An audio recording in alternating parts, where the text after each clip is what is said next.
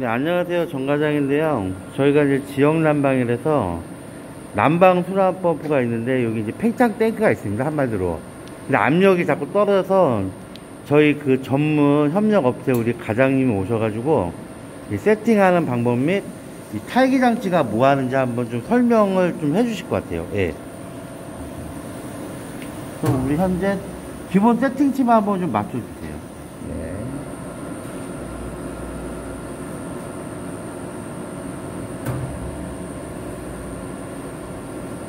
여기는 보시면 30분으로 돼 있잖아요. 예. 아까 저희 같은 60분 돼 있고 예.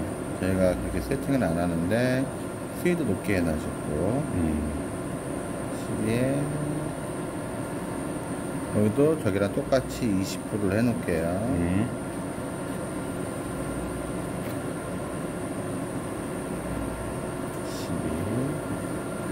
됐고요. 음, 하면은 압이 현- 설정 압력보다 높기 때문에 팽창을 해서 팽창이 많기 때문에 물을 빼서 이 수위를 올립니다. 예. 물이 들어오면 수위가 올라갈 거고 이 압력은 떨어질 거고 그렇죠. 예. 그렇게 해서 압을 유지시키게끔 해서 이 현재 값은 설정 값보다 0.2 정도, 그러니까 4.6 정도까지는 물을 뺄 겁니다. 얘가 예. 그때까지는 불이 안 꺼지고 가동을 할 거고요. 그 다음에 고층부. 얘도 일단은 세팅 값이 좀 틀려서 변경을 좀 할 거고요. 1.2 하고 2.0 팽창은 여기 세팅되어 있는 것처럼 보시면 예. 자 팽창수 밸브 동작 압력이라고 되어 있죠 앞에 플러스 0.6 플러스 0.2 설정가보다 0.6 이상 올라갔을 때 나는 물을 빼겠다. 어디까지 뺄 거냐? 설정 값에 플러스 0.2까지. 그러면 값은 얼마냐?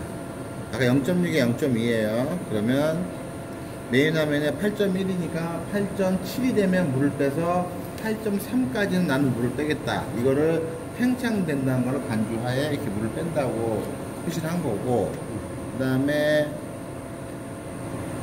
여기 보시면 펌프 운전 압력이라는 게 있어요. 마이너스 0.에서 플러스 0.2. 이거는 뭐냐면은 압이 설정값보다 현재 압력값이 떨어지면 아 난방에 물이 부족하다고 판단하여 그게 언제 가동시킬 거냐 마이너스 0.2 그러면 8.1에서 7.9에 스타트를 시켜서 언제까지 물을 채울 거냐 설정가보다 플러스 0.2니까 8.3까지 난 채우겠다 그렇게 표시를 해놓은 거고 그 값을 데이터 값을 넣은 겁니다. 그리고 그 값은 평균 되어 있는 값이고 지금 여기도 마찬가지로 펌프 최대 운전 시간 저희가 기본적으로 한 30분 정도 해줘요. 그 정도까지 돌아와도 된다고 보고 30분 되어 있고. 원래 기본 세팅이 한 10분 정도 돼 있는데 이거는 제가 세팅을 하면서 바꿔주는 것들이라 이게 값이 많이 좀 바뀌긴 했네요 그러니까 여기서는 뭐 안 바꿨다 하시니까 예. 저도 뭐 뭐라고 드릴 말씀이 없는데 어쨌든 조금 바뀌어 있는 거고요 16에 기본 세팅 그냥 네, 이걸 아. 좀 제가 변경을 좀 해드리는 거예요. 이건 저희가 맞게끔에 나중에 이제 오셨으니까 저희가 처음에 이제 입주 요거 받으면서 네. 그때는 그 입주율이 한 40%밖에 안 됐어요. 작년 제 겨울에. 그러니까 저희는 네. 테스트를 할 때 이 전 세대가 입주를 안 해도 네. 있는 것처럼 해서 다 아. 난방을 다 틀고 하기 네. 때문에 왜냐 그래야 종합 시운전이 아. 되고 그 다음에 이제 입주가 지금 10% 20% 되신단 말이에요. 그럼 네. 그때 나오는 증상들이 10% 20% 됐을 때 어 난방이 안 돼요 물이 차가워요 순환이 안 되니까 다 안 틀었으니까 그렇죠. 그래서 그런 경우는 우리가 관리소 얘기를 해서 그러면 전세를 다 돌려봐라. 음. 그 입주가 되면 얘기해 달라. 전화 안 와요. 왜냐? 입주가 다 되고 다 쓰니까. 그 제대로 순환이 되니까. 저쪽 그런 경우들이 많아요. 그렇기 때문에 된 거고, 요거, 여기 같은 경우, 아까 저쪽 같은 경우, 이 네. 기계실 같은 경우에는 이제 압력이 습기 높았던 부분이 있으니까 한 번 더 보시고, 왜냐면 난방을 누가 쓰지 않는데 그쵸. 압은 떨어지진 않아요. 어느 정도 난방이 그렇게 떨어지긴 하지만 그 이상 떨어지지 않는데 계속 얘는 물을 계속 갖다 부는데도. 그러니까 어딘가에서 누수가 샌다고 좀. 간주할 수가 있다는 거예요. 음. 그건 나중에 차후에 관리소 네. 측에서 점검을 좀 해주셔야 되고 저희가 아까 같은 것처럼 저희는 배관을 저희가 한 게 아니라서 저희가 배관을 뭐라고 말씀드릴 수가 없어요. 그러니까 지금 어쨌든 이제 오셨으니까 지금 현상이 우리가 이제 참 지난달까지는 간헐 난방을 해줬죠. 그러니까 저녁 8시부터 아침 6시까지 하다가 지난주부터 이제 추워서 24시간 난방으로 바꾸고서부터 이 압 떨어지는 현상이 일어나가지고 그리고 또 한 가지 말씀드리면 자 네. 바이패스 기준점이 뭐냐면요. 네. 이 바이패스는 이 장비가 어떤 이유에서 문제가 발생, 아까 저 아까 저것처럼 발생했을 때 아 장비를 사용할 수 없을 것 같다. 그지? 그럴 경우에는 이 장비를 차단기를 내리던 여기서 오프를 하던 하시고 이 바이피스를 여시는 거예요. 네. 단 여기서 문제가 뭐냐? 이 설정되어 있는 값이 있어요. 네. 이 보급소가 쭉 따라가 보시면 감이 이건데 여기에 2차 여기 보시면 이 방압전 방압전 2차에 걸리는 압력을 체크를 하셔야 돼요. 이거는 관리소에서 알고 계셔야 돼요. 네. 왜냐? 자 이거 열면 안에 얼마큼 들어가요? 몰라요.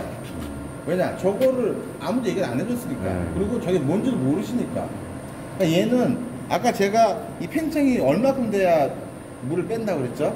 플러스 0.6이잖아요 0.2. 그래서 우리는 설정가보다 저 세팅을 0.5 높게 하는 거예요 왜냐 음. 그만큼까지 올라갈 수 있으니까 물이 그러면 결과적으로 저 물은 그만큼 양을 계속 보내준다는 얘기예요 이런 100% 열어도 그리고 반대로 압이 너무 많이 올라가면 또 물을 빼셔야 돼요 네.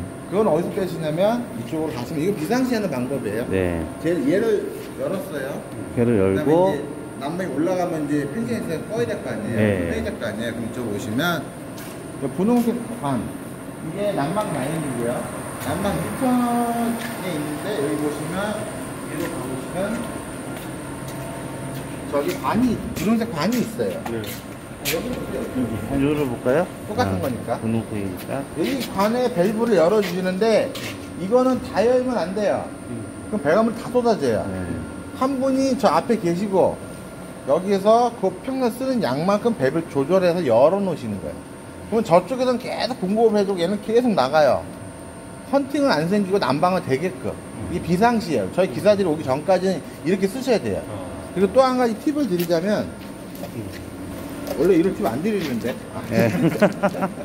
딴게 딴거 아니고요 여기는 하셨는가 모르겠는데 자 아, 여기 보시 하는데 자 여기 보시면 이게, 잘 하시는 거예요. 체크를 하시는 게. 네. 해놨죠. 이게 왜냐면은 대부분 안 하시는 데가 많아요. 네. 이걸 체크를 하는 의미가 뭐냐면은 자 누가 기술 왔어요. 순찰 돌아. 지- 지나가면서 봐. 어, 체크한 양보다 범위가 많이 벌어졌어. 어 뭐가 이상이 있다. 근데 범위는 든다. 이상 없는 거잖아요. 이 표시가 없으면 모르죠. 정상인지. 아니 아무도 몰라요.